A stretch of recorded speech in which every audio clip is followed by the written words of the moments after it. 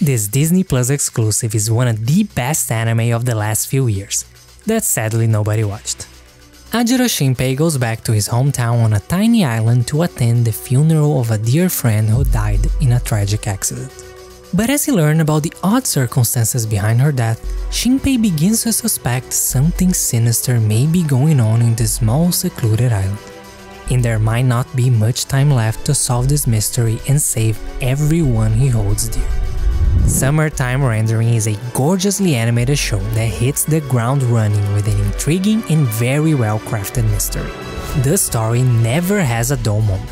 It's full of twists and turns, shocking reveals, great action sequences, and a suspenseful, ominous tone that will keep you on the edge of your seat until the very last episode.